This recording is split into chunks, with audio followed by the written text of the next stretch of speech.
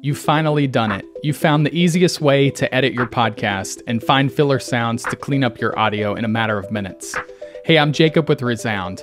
Let's take a look at how you can edit your podcast in just a few minutes using Resound. So once you've logged in, simply upload your first audio file. You can drag and drop a file into the circle, or you can just click the Upload a File button, and the processing screen will start behind the scenes.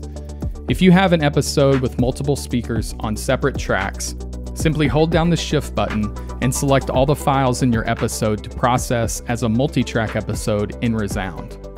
Behind the scenes, we're finding the edits in your audio, and you'll see the processing screen with some fun messages while processing. Once we're done processing, you'll see the editor mode will pop up.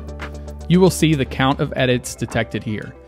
The blue highlighted regions are the edits that we found that have not yet been reviewed.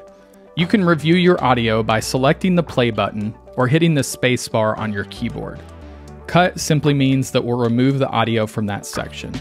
After selecting cut, it will change from blue to red. Keep means that we'll leave that region in and not alter the audio in that section. After selecting keep, it will change from blue to green. You can adjust the boundaries by selecting an edit and grabbing the boundaries to make precise adjustments. This gives you the freedom. We believe that AI should empower you as a creator or an audio editor, but not replace you.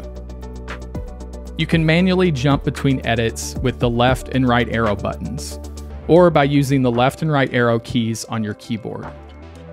So once you've reviewed all the edits, you'll see the all done message, and you're ready to export your audio. Simply click the export audio button, and you can export your edited audio as a WAV for higher quality if you want to keep editing in another tool, MP3 for a more compressed file size if you're ready to upload to your hosting platform, or you can export as an AAF if you would like to do additional editing in a digital audio workstation like Pro Tools or Logic. This allows you to open the session in one of those platforms and you'll see the edits and you can make additional adjustments in there, add music, sound design, that type of thing. Click the export button and you'll see that we're applying the edits in the audio and preparing the download. From there, your download will start automatically. Or depending on your browser preferences, you can select where you would like to download your audio file.